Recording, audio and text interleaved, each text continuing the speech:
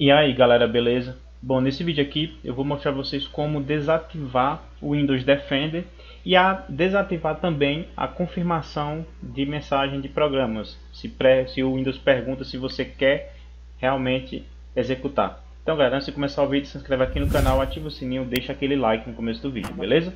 Então bora lá. Bom, aqui no menu pesquisar, você vai clicar uma vez aqui e vamos pesquisar aqui a opção UAC C, que vai ser esse daqui, ó, alterar configurações de controle de conta de usuário. Então basta clicar nela e aqui vai abrir essa janelinha. O seu vai estar aqui, ó, mais ou menos aqui, tá? Então basta clicar nele, arrastar a nunca notificar e clique em OK. Beleza. Vamos à primeira etapa. Agora vamos desativar o Windows Defender.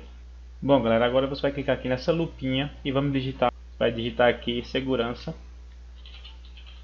mudança do Windows. Clicamos nele aqui, ó. Ele vai abrir essa janelinha aqui. Nessa parte, você vai clicar aqui em proteção contra vírus e ameaças. Tá bom? E aqui você tem algumas opções. Na primeira etapa, você vai clicar aqui, ó, configurações de proteção contra vírus e ameaças. Vamos clicar aqui em gerenciar configurações. E aqui vai estar marcado proteção em tempo real, proteção fornecida em nuvem, envio automático, proteção de violações. Então você vai desativar tudo isso aqui. Ó. Desativa proteção em tempo real, desativa essas outras aqui também. Tá bom? Então, ele vai aparecer essa janelinha aqui, que é dizendo que quando você desativa isso aqui, o seu antivírus, se você tiver instalado no seu computador, ele ativa automático para você. Beleza? Então desativou e quando você reiniciar o seu computador, se for o caso, ele volta a aparecer aqui em tempo real, beleza? Isso é só uma opção para ajudar. Feito isso, você vem aqui nessa setinha aqui e você vai no seu antivírus, que é esse aqui, ó.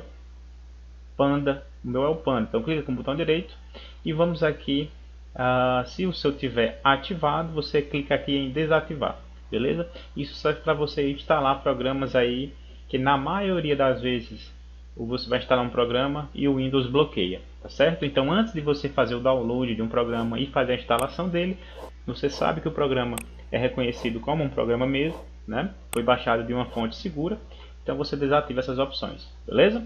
Então é isso, valeu!